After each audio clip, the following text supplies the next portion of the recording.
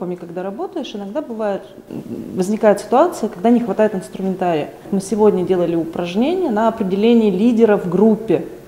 И уже потом с коллегами а, в обеден, на кофе-брейке разговаривали, что насколько это упражнение показывает, как сам человек, а, во-первых, оценивает собственную роль в группе и как его группа воспринимает. Когда ты понимаешь, что ты лидер, но боишься, например, об этом сказать, да, ты как бы, э, ну, я знаю лучше, но когда тебя группа назначает на роль лидера, это совсем другой коленкор, и ты уже будучи а, на месте лидера, когда ты сидишь на месте лидера, ты уже боишься, а вдруг тебя с этого места. Групповая динамика решает определенные задачи, да, то есть на командообразование, на определение, опять же, лидерства.